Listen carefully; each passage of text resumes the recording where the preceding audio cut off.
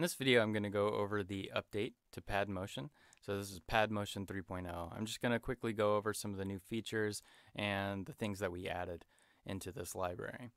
So we'll start on the simple page. This is for the grain and sample layer. At the top, we've added uh, filter options for the low pass uh, filter and the high pass filter up here.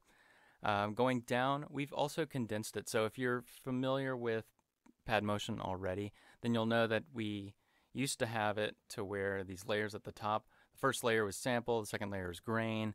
Um, we've condensed it now and made it a bit easier so that you can switch between sample and grain in one layer. This also makes it easier instead of like if you wanted to have a preset that had two layers of granular synthesis, uh, before you may have had to either load and init patch that already had that, or you had to search through all the presets and find, okay, which one has two layers of grain. Uh, this way you don't have to do that anymore. If you have a preset that has two layers, uh, you can just go to the other one and switch to the grain. And there you go. Um, so we think that's a much more efficient solution to uh, compared to the way we had it before. Um, another thing we've added is you'll notice these graphics over the rates for the LFOs. Uh, we did this because it's just a bit easier to see what's going on. Um, if you're in a hurry, you're tweaking something, and you have some things being modulated at you know 16th note or an eighth note, um, and instead of having to go through, hover your mouse over to see the value or discern what it is from the value in the middle, uh, you can just easily see, okay, this one's going at an eighth note. I wanted to change that, or I just wanted to turn that off. So hopefully that will also help as you go on about tweaking the instrument. Let's go to the advanced page. Something we also added is a new modulation. Uh, we added a gate up here. You'll find it under the motion section. So you have the LFOs for the volume LFO and the pan LFO. We can go to the gate. This is fixed to the volume. So you don't have a destination to choose from as it's fixed already. Um, if you're familiar on the motion page with our step modulators, it has pretty much the same functionality. So the amount goes from 0 to 100. So 0 obviously doesn't affect it at all.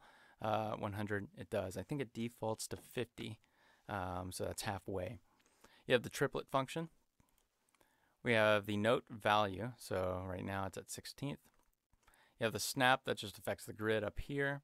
And then you have, oops, then you have the steps. So you can adjust how many steps you want in there and it goes up to 32.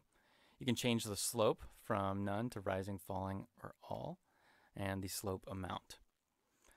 We have a sync mode for it, and then you can also uh, shift the pattern to the right, to the left, or reverse it. So that's a new feature that is exclusive to Pad Motion at the moment, um, and you'll find that on both the sample and grain layers and on the synth layers. So let's kind of go over the preset naming for the gate. As you can see, the naming looks a little cryptic.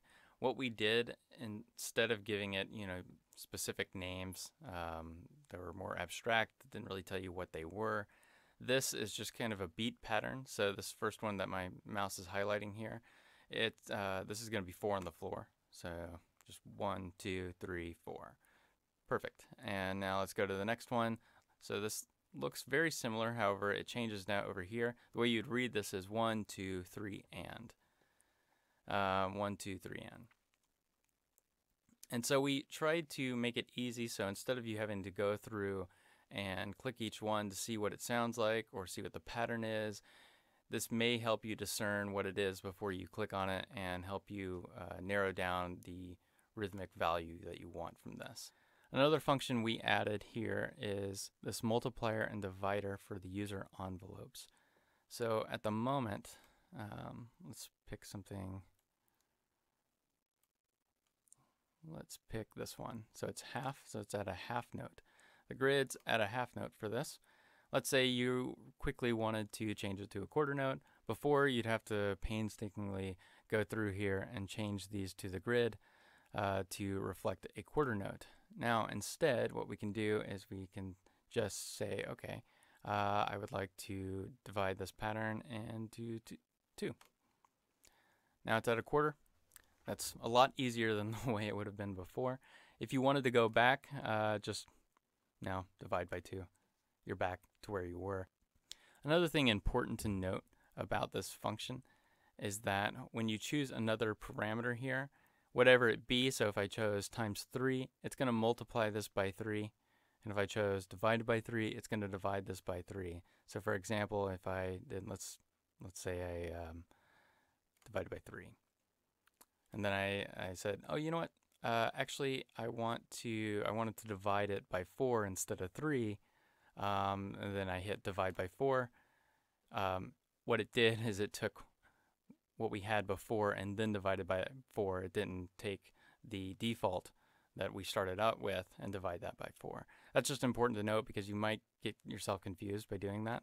Um, so just work your way back and then we'll be back at the quarter where we were. So that kind of wraps it up for the sample and grain layer. Let's go over to the synth layers. Again, if you're familiar with pad motion already, you will notice that we've simplified the synth layer. Before, you had the analog modeled synth as one layer and the wavetable as another layer up here. We've condensed this. This is good because it's also reduced uh, a bit on the CPU consumption for the instruments that were four layers or that hosted um, both synths. Uh, this way you can have a bit more control over that. And again, when you're browsing through presets and you wanted something with the analog modeled synth, uh, you'd have to either go and load the four layer init patch or uh, you'd have to find something that did utilize that layer. This way you can just load the init patch or it's easy just to find something that has the synth layers in them and then uh, tweak from there. So the oscillator is your analog modeled synth. The wavetable is your wavetable synth. The wavetable has over 1100 presets you can choose from. So it has plenty of content um, to get a different sound or timbre or whatever you're looking for.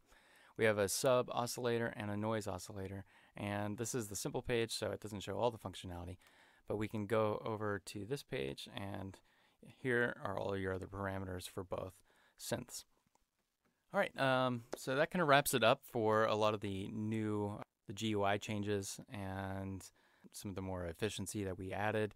Uh, there's a lot more content in PadMotion 3.0 that includes over 220 new uh, sample sources for sample and grain, and it also includes over 600 new presets in PadMotion 3.0. So you're getting a lot more content and uh, hopefully a lot more efficiency as you'll see it.